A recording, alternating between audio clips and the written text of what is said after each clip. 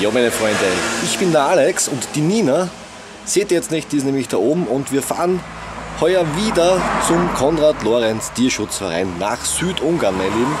Und wir haben wieder, wie man das so unschwer erkennen kann, hm, ja, ich hoffe, man kann das alles sehen, jede Menge Spenden von euch bekommen und bedanken uns im Rahmen des natürlich recht herzlich dafür an all die Futterspenden, Sachspenden, Decken, Polster, Hundespielzeuge, Hundeleckerlis etc.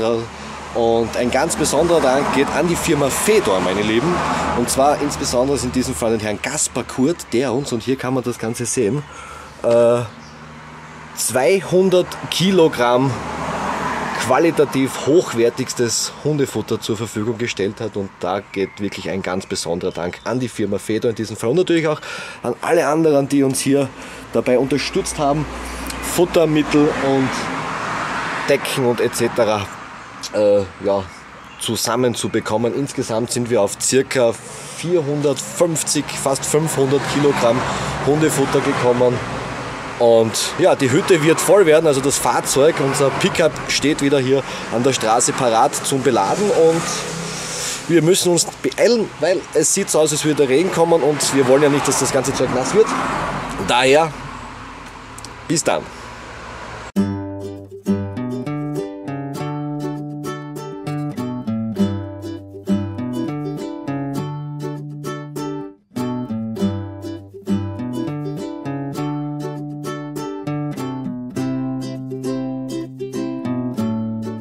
Ja, wir nähern uns der Finalisierung des Ladevorgangs. Captain Nina mit 30 Jahre langer Tetris-Erfahrung hat es wieder mal geschafft, das Fahrzeug bis an seine Grenzen zu beladen.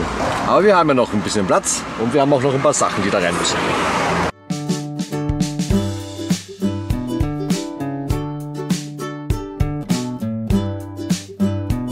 Ja, meine Freunde, Hütte voll bis zum Anschlag. Hier, Klappe zu, Klappe zu und morgen geht es dann auf Richtung Ungarn.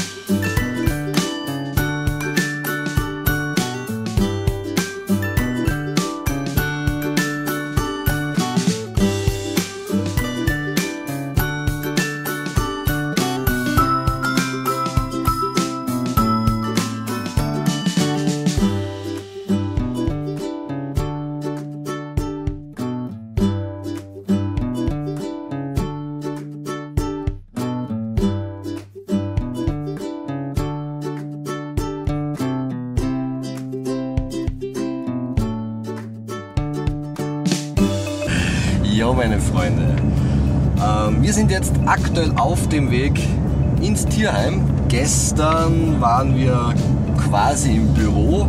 Im Vergleich zum letzten Jahr, wo wir die Sachspenden direkt im Büro abgegeben haben, machen wir das heuer anders. Das heißt, wir haben das Auto noch bis zur Gänze gefüllt mit den Futterspenden und den Sachspenden und liefern die quasi direkt in das Tierheim aus organisatorischen Gründen, weil das Büro, glaube ich, jetzt, keine Ahnung, saniert wurde wir somit dann das Futter den Tieren direkt vor Ort bringen. Das sind Baustellencontainer, in denen das trocken gelagert werden kann.